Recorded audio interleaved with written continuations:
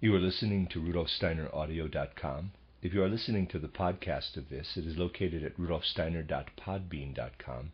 Please consider becoming a patron. As well, there are two publishing houses, steinerbooks.org in America and rudolfsteinerpress.com in England, who are the sole publishers of Steiner into English and have given me permission to do these recordings. Please consider patronizing them as well. This is a reading of Collected Works Volume 282 by Rudolf Steiner, a lecture cycle entitled Speech and Drama, translated by Mary Adams. This is Lecture 5, entitled The Secret of the Art of the Masters Annihilation of Matter Through Form. Given on the 9th of September 1924. My dear friends, we will begin today with two recitations that will demonstrate for you how, in a poetic composition, on the one hand, an inclination to prose may predominate.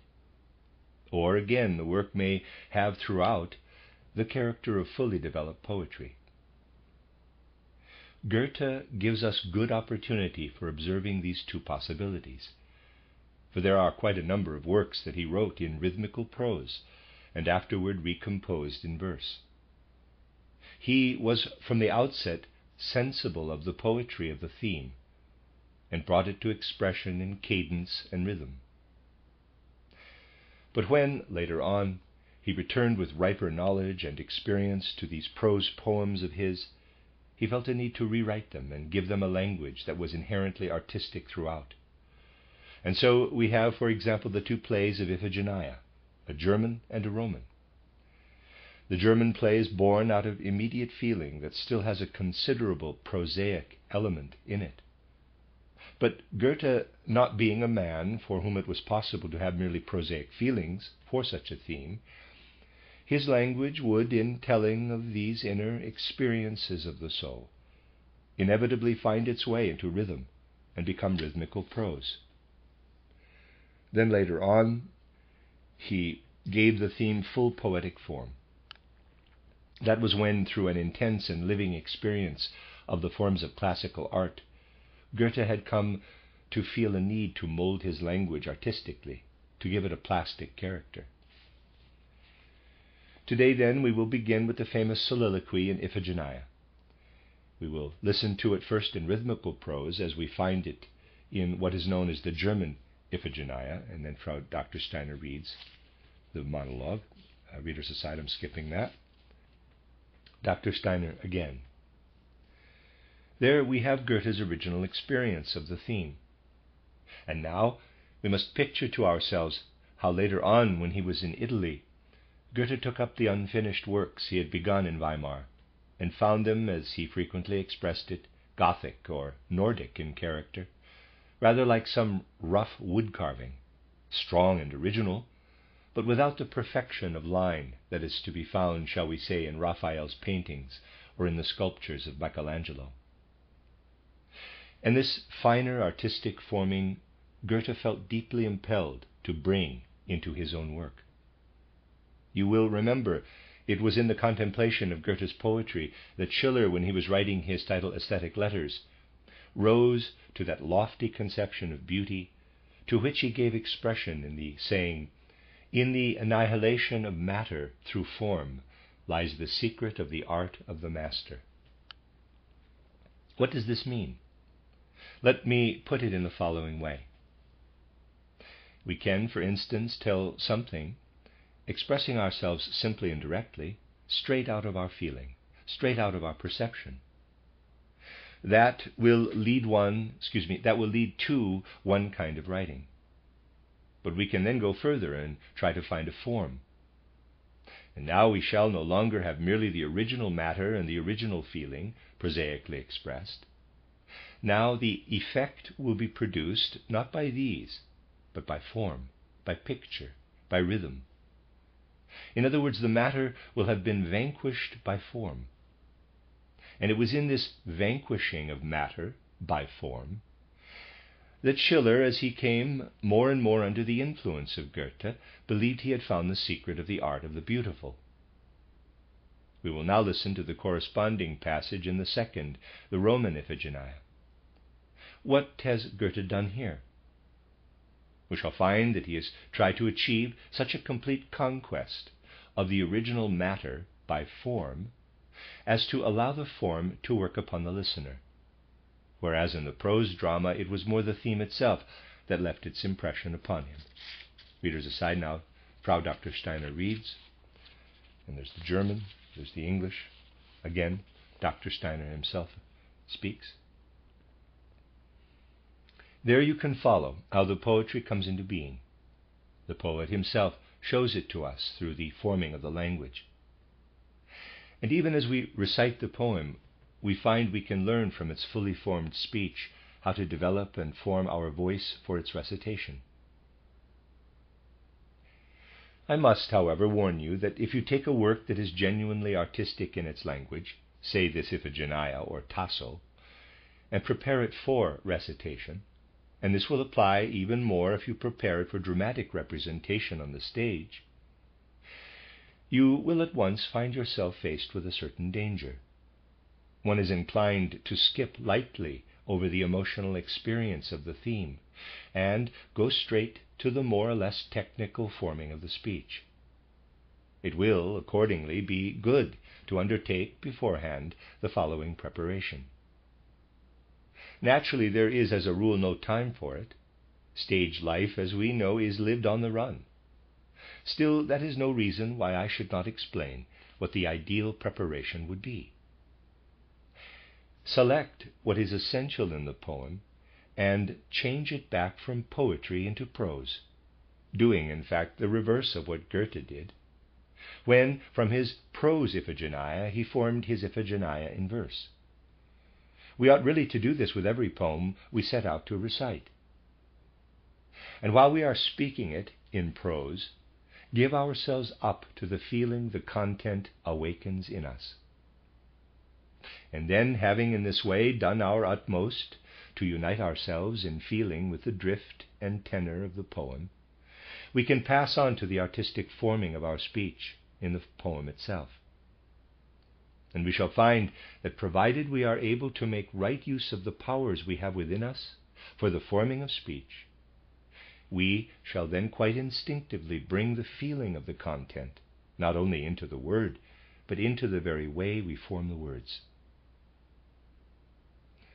We must now, at this point, say something about these forces that man has within him for the forming of his speech.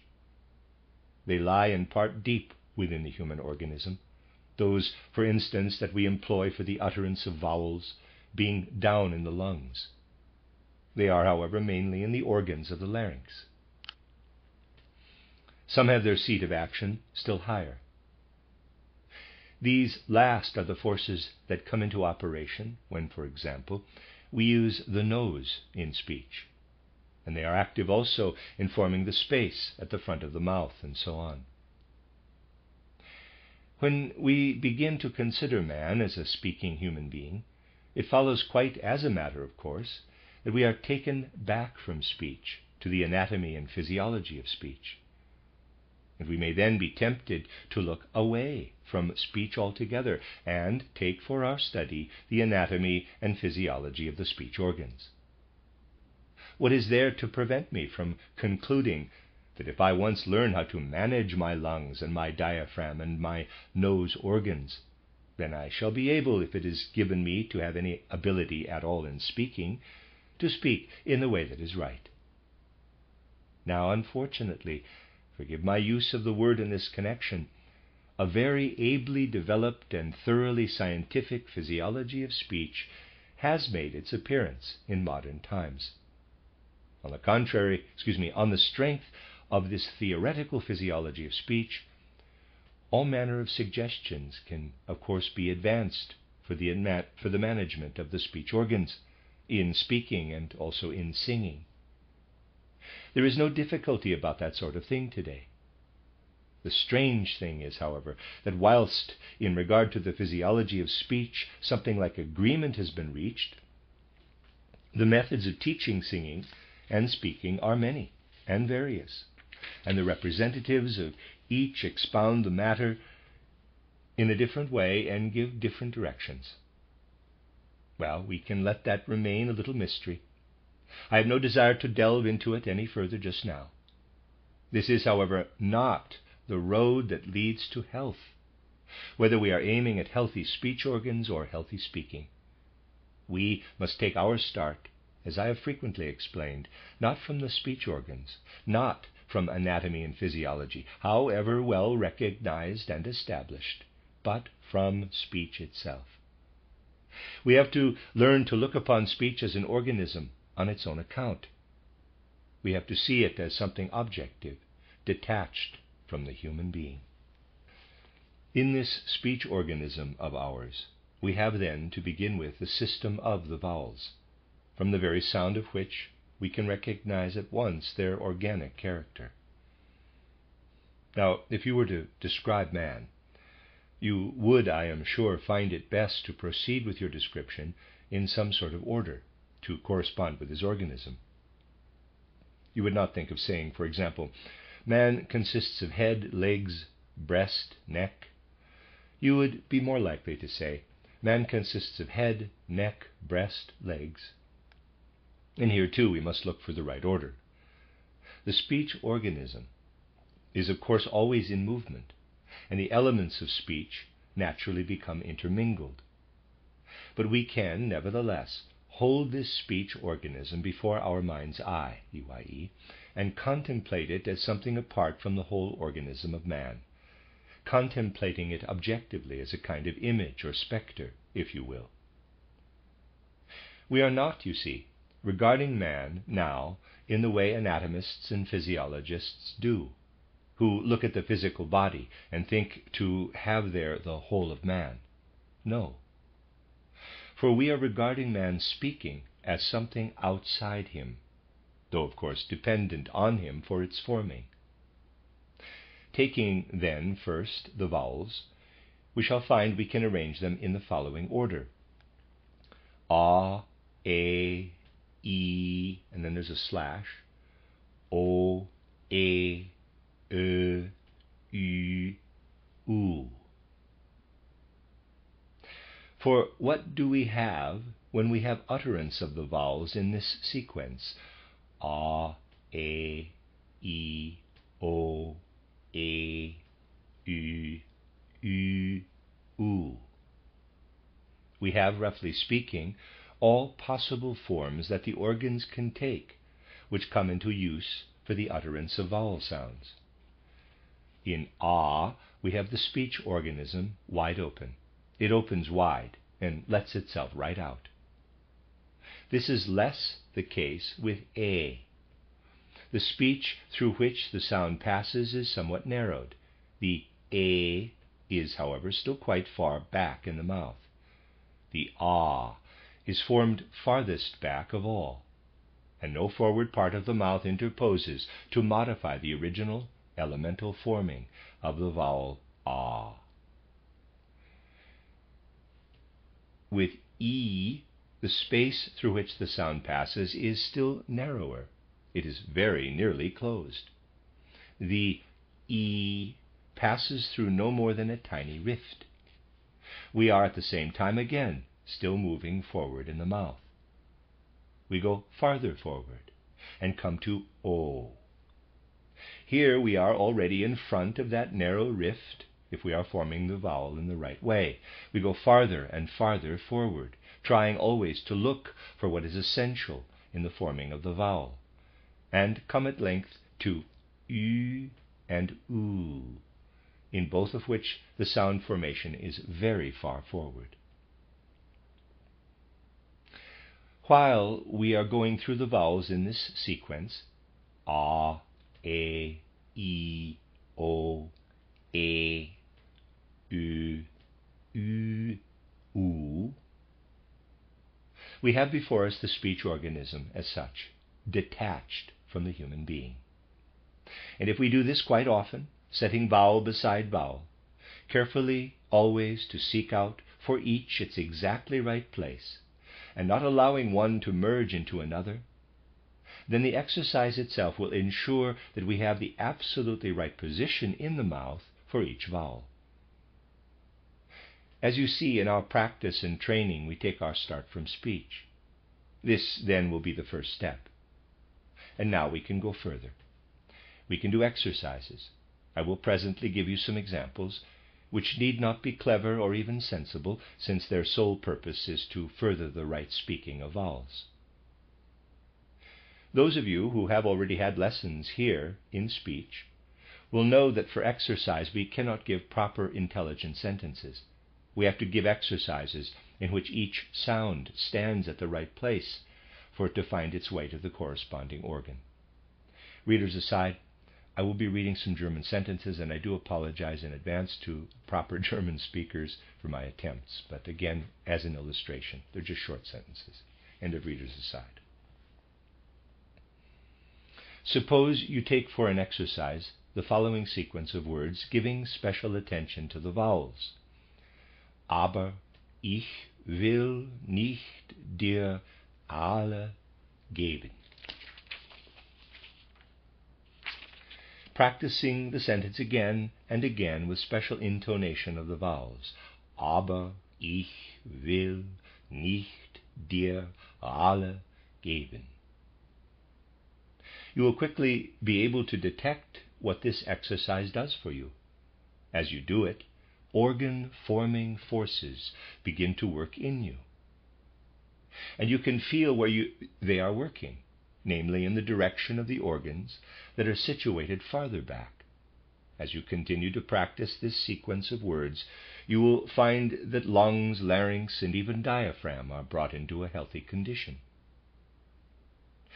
For what are you doing when you speak the words, aber ich will nicht dir alle geben? You go in the vowel up to the point where the passage for the breath is most nearly blocked. A, A, E, speaking. So far, only vowels that lie behind this point. As you speak, you press back, as it were, at this point of greatest obstruction, not allowing your speaking to come beyond it. By this means you exercise lungs, larynx, and as far down as diaphragm. For you first move forward in the mouth up to this boundary line, but then go back again, keeping all the time strictly behind it. You have in the middle of the sentence e, e, e, e, a, a, at the beginning and a, a again at the end. Working thus, you will be evolving from the speech organism no abstract physiology, but a physiological forming of the organs. We have, therefore, here an important indication of methods that should be employed if we want to work beneficially on the more inward organs of speech. We set ourselves a boundary when we put the E there in the middle of the sentence. Take another sequence of words. As I said before, these sentences have no profound meaning. They are mere exercises. O Schell und Schmor mühvoll mir mit Milch nüss zu muss. The words have very little sense but the sequence of sounds accords well with the sense of a particular speech process. For here you have again E, E, E in the middle, and again you divide off with the same boundary line what you want to leave out. But this time in the rest of the sequence, all the vowels sounds all the vowel sounds lie not behind, but in front of the boundary. If you try to speak the sentence in the way it should be spoken, you will have in it all the resonances you need nasal resonance, head resonance. You will have them all.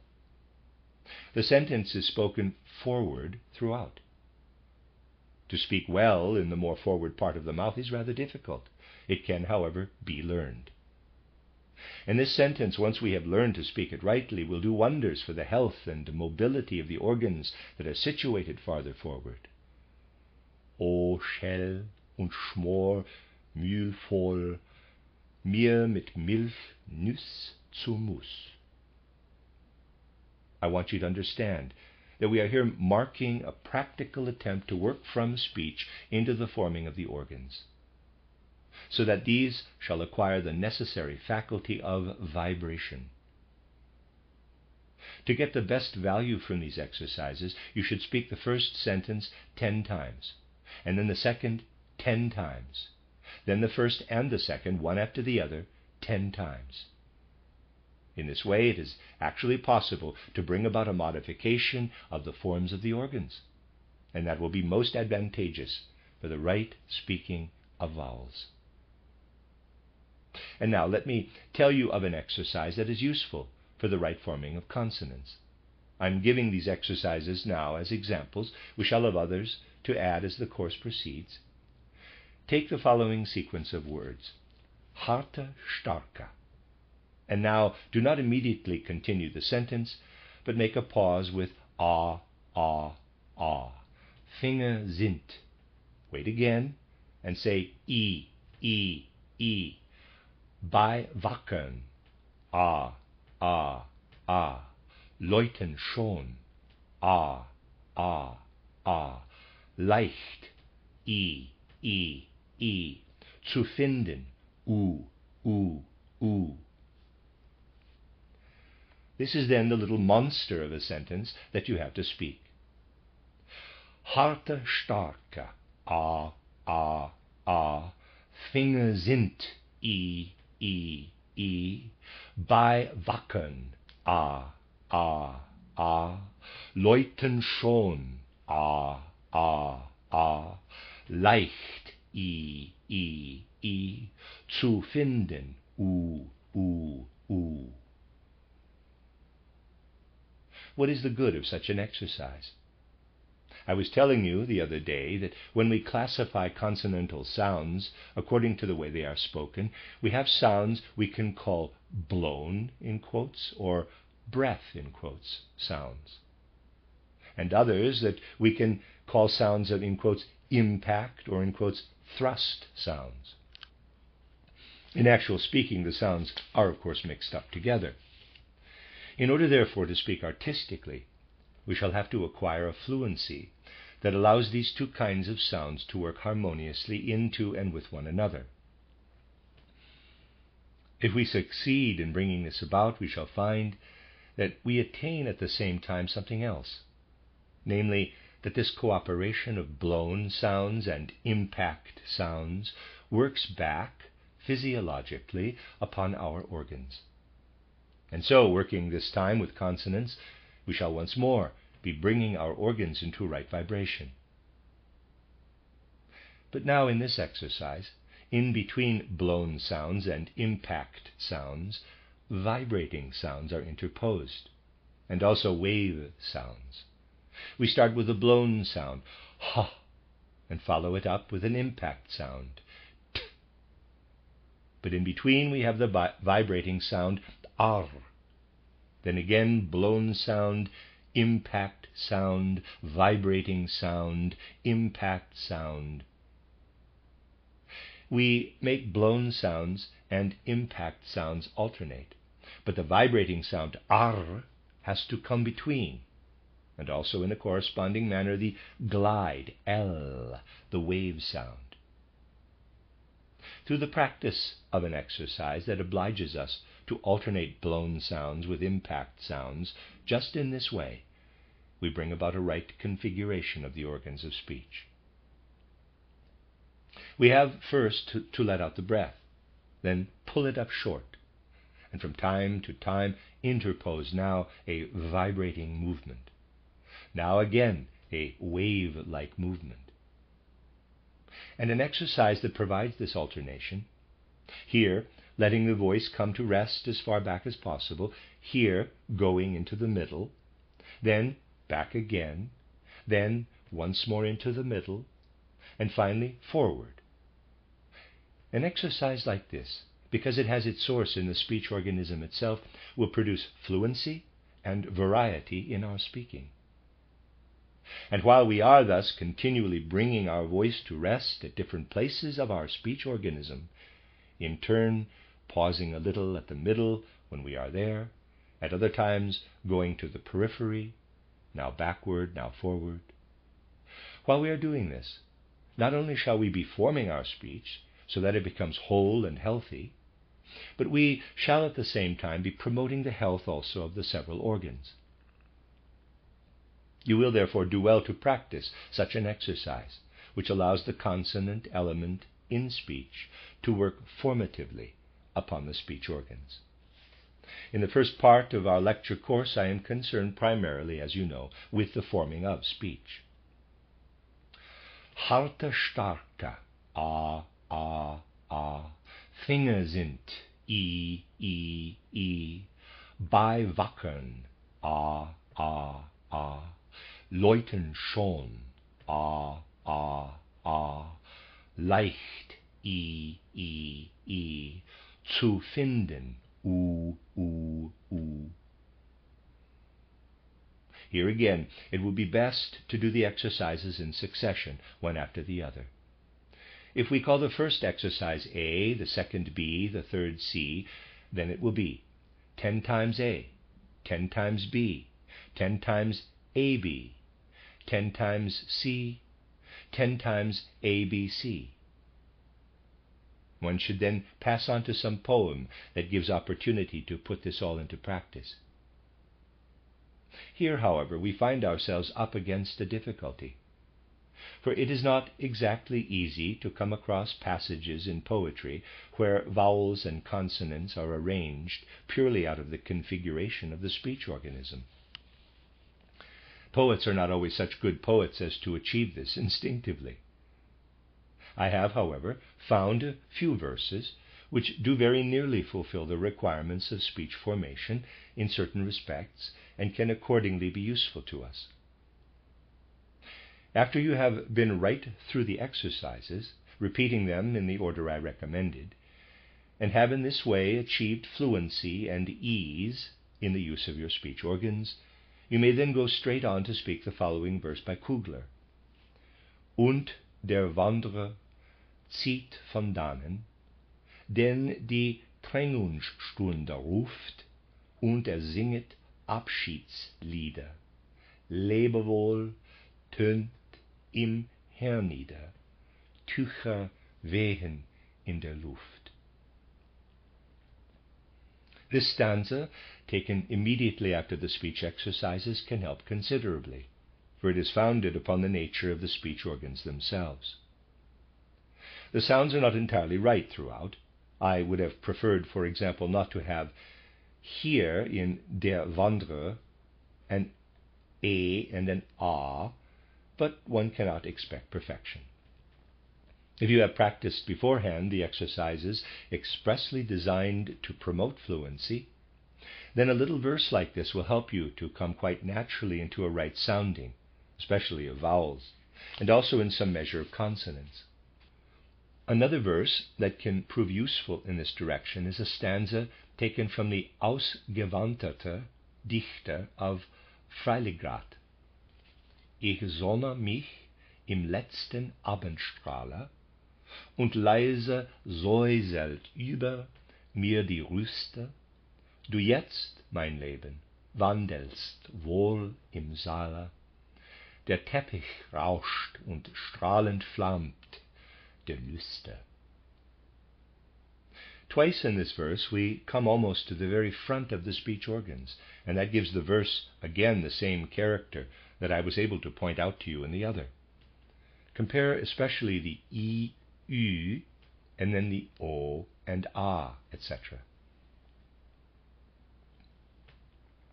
I have also, excuse me, I have found also in a poem by Johann Peter Hebels a verse that can be particularly helpful for exercising the speech organs that lie in, the, in front of the E. Und drüber hebt sie Zuni in die Höhe und leuchtend Welt und Zeit, was muss i se in aller Früh. Der Friedli schlingt sie arm, ums Ketterli, uns wird erm wohl und warm Druf hat erms Ketterli eschmutzli ge. This is an excellent exercise for the nose and the other more forward organs. It should be practiced often, and I recommend that in between the verses you repeat every time the whole series of exercises that I gave before. Thus you begin with 10 times A, 10 times B, 10 times AB, 10 times C, 10 times ABC. Then you recite Und der Wanderer zieht von dannen. Then take again the above series A, B, AB, C, ABC. Then Ich sonne mich im letzten Abendstrahler. Then once more the series A, B, AB, C, ABC. And finally Und drüber hebt sie Zuni still in die Höhe finishing up, that is, with this capital and droll little verse. And you will see your organs will become quite wonderful. You will, in very truth, be finding your way by sheer, persistent practice into a right forming of speech. A is, aber ich will nicht dir Allah geben. B, o schell und schmor mühevoll, mir mit Milch Nus zum Mus. Sie harte starke A, A, A, Finger sind I, I, I, bei Wackeln A, A, A, Läuten schon A, A, A, leicht I, I, I, zu finden U, U, U. The end of Lecture 5.